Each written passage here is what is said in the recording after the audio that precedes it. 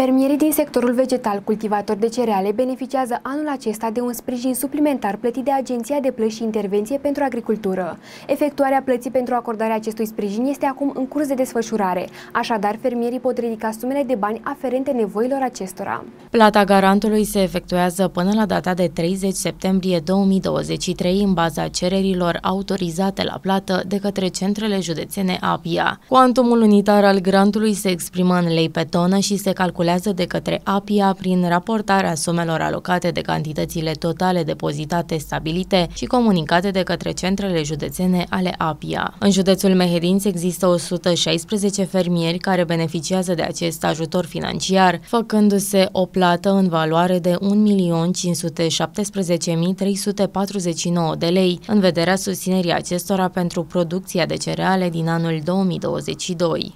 Agenția de Plăși și Intervenție pentru Agricultura Mehedinți aduce la, la cunoștința fermierilor interesați faptul că se efectuează plățile pentru ajutorul acordat în sectorul uh, cerealelor, conform hotărârii Guvernului 352 pe 2023. Obiectivul acestei măsuri a, a constat în acordarea unui uh, grant financiar uh, fermierilor ce um, au um, avut în depozitele proprii sau în depozitele la terți cereale obținute din producția proprie a anului 2022. Suma care se acordă acordă fiecărui producător agricol beneficiar este obținută din înmulțirea grantului unitar stabilit cu cantitatea de grâu din recolta proprie a anului 2022, depozitată de către acesta la data de 1 februarie 2023 și declarată în cererea de solicitare a ajutorului. Resursele financiare totale la nivel național sunt de 99 de milioane 233 de mii 700 de mii de lei, ce reprezintă echivalentul sumei de 20 de milioane